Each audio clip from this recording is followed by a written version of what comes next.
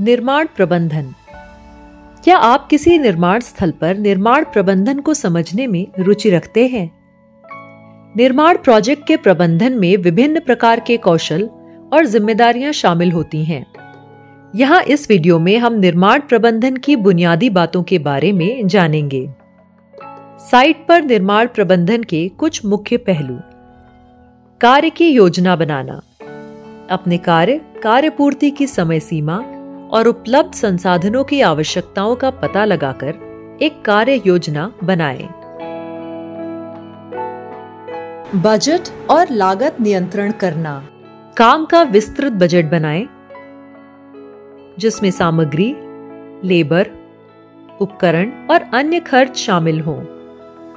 Budget का पालन सुनिश्चित करने के लिए पूरे कार्य में लागत की देखरेख सही से करें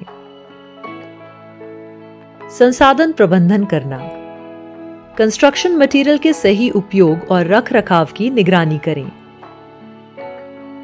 वर्कर्स को प्रभावी ढंग से कार्य बांटें और उनका प्रबंधन करें।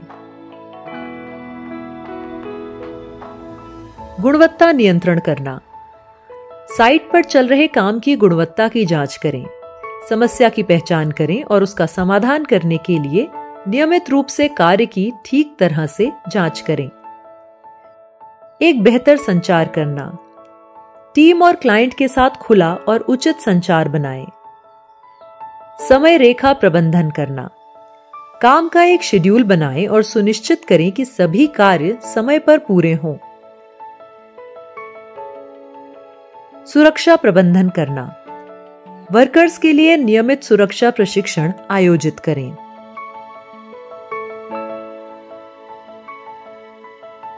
क्लाइंट के साथ बेहतर संबंध बनाना।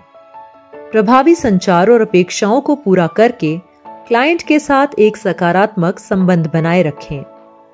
अगर आप इन सभी बिंदुओं का पालन करेंगे तो एक टीम से अच्छी, बेहतर उत्पादकता निकाल सकते हैं।